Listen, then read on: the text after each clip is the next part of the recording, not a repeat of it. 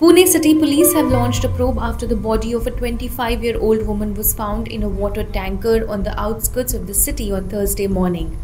The probe has found out that the woman had left her house in the early hours of the day without informing anyone, and the family had started searching for her when the body was found. The police have identified the deceased as Kausalya Mukesh Chavan, 25 year old, a resident of Dugad Chawl in Handewadi. Around 10 am on Thursday, her body was found inside a water tanker in the Fursungi area.